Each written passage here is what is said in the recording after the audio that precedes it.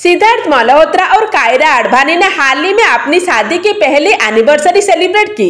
वहीं अब एयरपोर्ट पर दोनों कपल गोल देते हुए नज़र आए। पेपराज ने सोमवार को सिद्धार्थ और कायरा का एक वीडियो शेयर किया है, जिसमें दोनों एयरपोर्ट से निकलते हुए नज़र आए।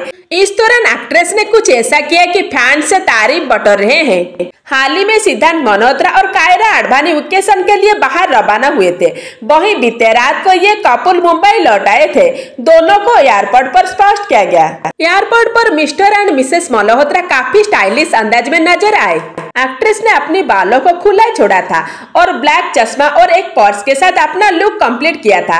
कायरा काफ़ी स्टाइलिश लग रही थी। अगर हम सिद्धार्थ मल्होत्रा की लुक की बात करें तो एक्टर ने व्हाइट टी शर्ट के साथ ग्रे कलर के पैंट कैरी किए थे और ग्रीन जैकेट ले हुई थी। सिद्धार्थ और कायरा को एयरपोर्ट से बाहर आते हुए देखकर पेपराज ने कैमरा में कैद कर दिए। सिद्धार्थ मल्होत्रा और कायरा अडवाणी की ये तस्वीरें अब सोशल मीडिया पर जमकर वायरल हो रही है और लोग उन पर प्यार भी लुटा रहे हैं। तो दोस्तों आपको सिद्धार्थ मल्होत्रा और कायरा अडवाणी की जोड़ी कैसी लगती है प्लीज़ कमेंट करके ज़रूर बताना। आपके जानकारी के लिए बता दें कि सिद्धार्थ मल्होत्रा और कायरा अडवाणी ने हाल ही में अपनी पहली वेडिंग एनिवर्सरी सेलिब्रेट किए थे। इन दोनों की जोड़ी को बेस्ट जोड़ी के लिस्ट में गिना जाता है। दोस्तों, आज का मेरा ये वीडियो आप सबको कैसा लगा प्लीज़ कमेंट करके ज़रूर बताना।